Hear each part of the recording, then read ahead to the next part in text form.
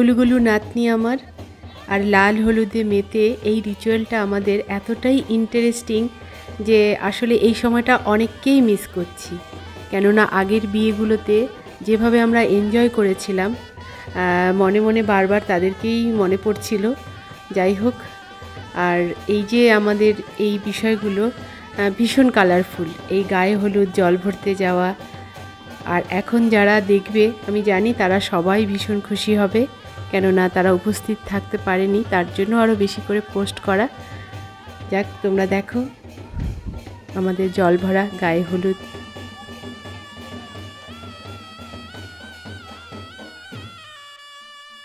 সব photo session চলছে, কেউ কেউ এখনও রেডি হয়নি, তাদের জন্য অপেক্ষায় আছি আমরা। আর এই যে কলসি করে আমরা অনেকটা দূরে যাব, যেখানে আমার শাশুড়ি মা, কাকি শাশুড়ি মা, তারা সবাই জল ভরতে যেতেন। তাদের জন্য তাদের মনে করার জন্যই হয়তো আমরা এখনও সেই পুকুরেই জল ভরতেই যাই। আর এখানে আমাদের যত কিছুই, যা কিছুই করা হচ্ছে তাদেরকে স্মরণ করেই করা হচ্ছে। উপরে ছাদে আমাদের যেখানে ছেলে আশীর্বাদ হবে, সেখানে বৃদ্ধি হচ্ছে।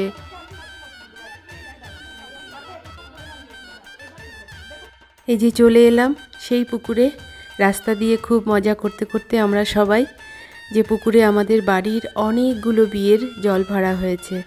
আর জল ভরা হলো কালকে যেমন আমরা মা গঙ্গাকে নিমন্ত্রণ করেছিলাম, সেটা আজকে হলো মা গঙ্গাকে আমরা পুজো করব এবং সেখানেও সেম একই পান, সুপুরি, মিষ্টি দুব্য ধান, তারপরে এক টাকার কয়েন একটা হাঁসের ডিম, আর সব কিছু মিলিয়ে পাখা দিয়ে হাওয়া করে তেল, সিঁদুর সব কিছু দিয়ে পুজোটা হবে। আর এই পুজো দেওয়ার সময় যখন জলে তেল, সিঁদুর সব কিছু দেওয়া হয়, আর সেই জলে একটা রেইনবো শেডিং তৈরি হয়। সেই রেনবোটা খুব সুন্দর শুভ বলে মানা হয় আমাদের এই সব রিচুয়ালগুলোর মধ্যে। আর এই যে আমার জায়েরা সব একসাথে, একজন তো টিপ পড়তে মনে হয় ভুলেই গেছে। নাকি টিপটা পড়ে গেছে, আমি এখনই দেখলাম।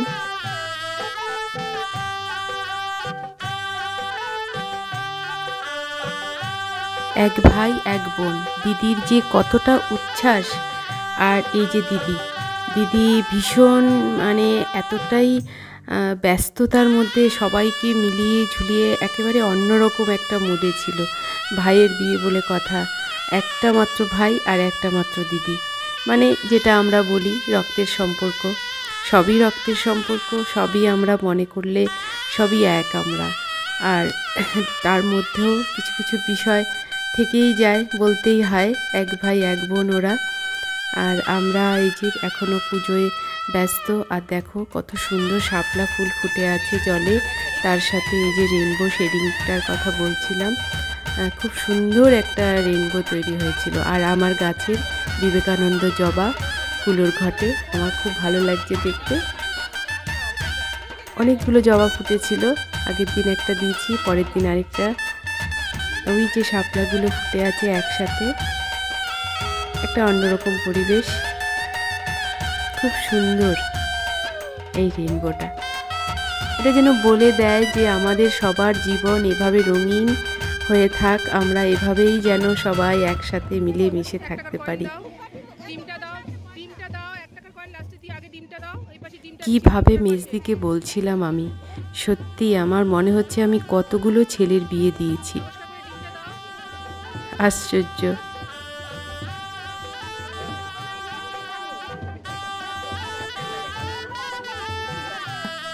আর এই যে ঘিয়ের প্রদীপ, এখানে শুভ শক্তিকে আহ্বান করা হয় আর এই যত অশুভ শক্তিকে পিছনে ছুঁড়ে ফেলে দিতে হয়।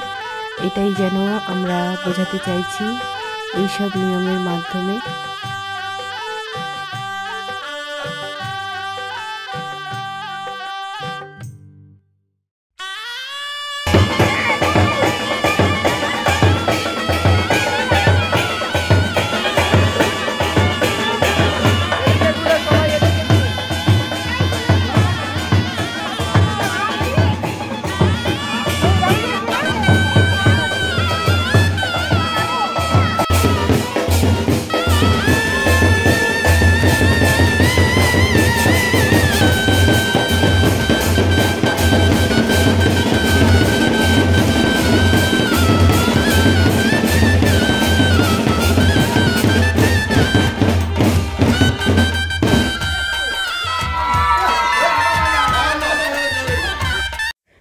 তাড়াতাড়ি আমাদের এই সব নিয়মগুলো করতে হয়। কেননা ছেলের গায়ের হলুদ আবার মেয়ের বাড়ি যাবে, তারপর মেয়ের গায়ে হলুদ হবে। আর মেয়ের বাড়ি থেকে অনেকেই এসছেন, তারা এখন আশীর্বাদ করবেন। আর এই যে গিলা, এটা আমরা হলুদের সাথে আমরা বেটে দেব। এখানে পাটার সামনে আমরা শিলনোড়ার সামনে পান, সুপারি, ধান দুব্বো দিয়ে এখানে হলুদটা করছি আর এই আলপনাটা তোমরা আগে দেখো নি আগের ভিডিওতে এখন দেখো কি সুন্দর করে করেছে আলপনাটাও। মানে অপূর্ব অপূর্ব, যার কোনো তুলনা নেই।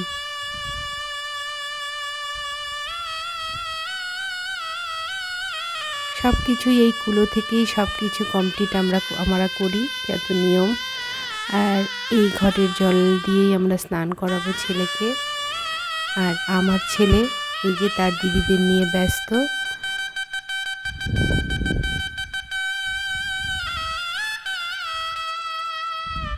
আমাদের বরের অনেক বন্ধুরা এসছেন, তারাও অনেক ফটো সেশন অনেক মজা করেছে। আমার নিজ ভাসুর, ওনারই ছেলের বিয়ে। আর এই যে সব ফটো সেশন চলছে চারিদিকে, আমিও ভিডিওতে মত্ত।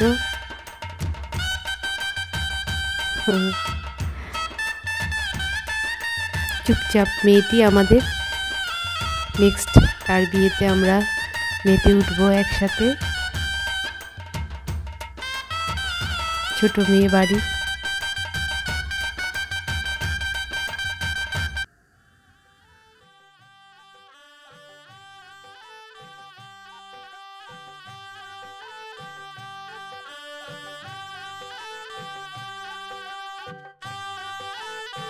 আমাদের ছেলের আশীর্বাদ, আর এই আশীর্বাদের পর্বগুলো আগেই হয়ে যায়। কেননা এখন যা সিচুয়েশান চলছে, আর আলাদা করে কিছু বলার নেই। তাই সব কিছুই একবারেই হয়ে যাচ্ছে। আর এই যে পাশে আমাদের মেয়ে জামাই আরেকজন, কাঞ্চন খুবই ভালো ছেলে, মিষ্টি একটা জামাই আমাদের। মিষ্টির কথা বলতে গিয়েই আবার চলছে মিষ্টির পর্ব। আর এই বিয়েবাড়িতে মিষ্টির একটা ভীষণ ভূমিকা রয়েছে। দই মিষ্টি ছাড়া যেন কোনো বিয়ে কমপ্লিটই হবে না আমাদের। আর এই যে মেয়েদের বাড়ির থেকে যে মিষ্টি আসে তত্ত্বে, ছেলেদের বাড়ির থেকে মিষ্টি যায় তত্ত্বে, এই ব্যাপারটা যেন মিষ্টি মুখের একটা অন্যরকম ভূমিকা। আর শেষমেশ বর বউ মিষ্টি খেতে খেতে আর পুরোপুরি একেবারে মিষ্টির প্রতি একটা অনীহা এসে যায়। আর মেয়ের এখানে বলে রাখছি, মেয়ের বাড়ি থেকে যে মিষ্টি পাঠিয়েছিলেন, ওনারা এতটাই টেস্টি ছিল, আমার কিন্তু এখনও মুখে লেগে আছে।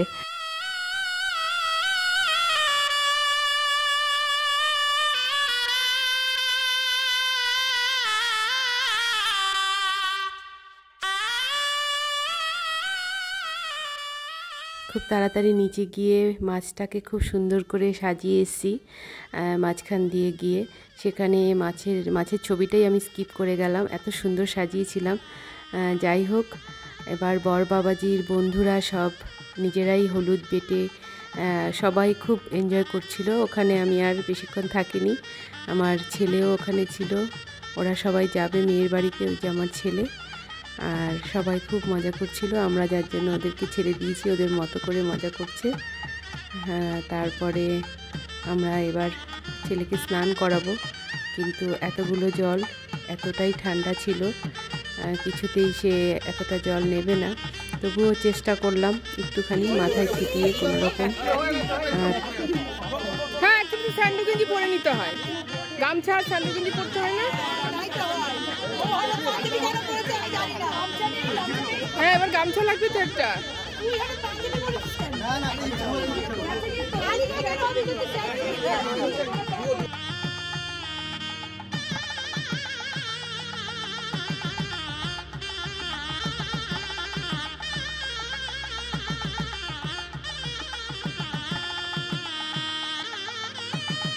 দেশীয় নিয়মে যেসব বিয়েগুলো আমি ছোটোবেলায় দেখেছিলাম, চারদিকে মাটির কলা গাছ তার মাঝখানে একটা কুঞ্জ করে বিয়ে হতো। আর সেটা মেয়ের বাড়িতেই হয়, বিয়েটা যেহেতু মেয়ের বাড়িতে হয়। আর ছেলের বাড়িতে কুঞ্জর দরকার হয় না। ওখানে মেয়ের বাড়িতেই বিয়ে, তারপরে আংটি খেলা সব কিছু কমপ্লিট হয়ে যায়। সেই মাটি, কাদা আমরা সব কিছুই করেছি। যতটুকু আমাদের মানে পরিস্থিতি আমাদের দিয়েছে সব কিছুই আমাদের হয়েছে। তবে কি কিছু কিছু নিয়ম যেগুলো অনেক আগের থেকেই সবাই আরেকটু অন্যরকম করে করতে চায়, কেননা আশীর্বাদ, ছেলের বাড়ি আশীর্বাদ একদিন, মেয়ের বাড়ি আশীর্বাদ একদিন, তারপরে হলুদ কোটা একদিন, পানখিলি মানে অনেক কিছু বিষয়, নিয়ম আমি যে দেখেছি ছোটোবেলায় সেগুলো এখন মনে পড়লে মনে হয় যে সত্যি আমরা কিছুই করতে পারছি না। তার আগে আগেকার মানুষগুলো এখন নেই। আর আমরাও আস্তে আস্তে কেমন একটা ডিজিটাল যুগে চলে এসেছি।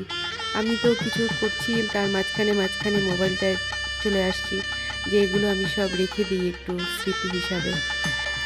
ছেলেকে আমরা মাথায় যদিও জল দিতে চাইছি না, এতটাই ঠান্ডা, তবুও চেষ্টা করছি একটু যেন মাথায় জলের ছিটাটা পড়ে। যাই হোক, তোমরা সবাই কেমন লাগছে বলো? আর প্রথম পার্টটা তো অনেকেই, অনেক ভিউয়ার্স অনেকেই দেখেছ। ভালো লেগেছে নিশ্চয়ই। কেউ কিছু না বললেও অনেকেই আমাকে ফোন করে বলেছ। যাই হোক, এই সেকেন্ড পার্টটা তো রইল। আর এবার থার্ড পার্টটা দেখছি কী করা যায়।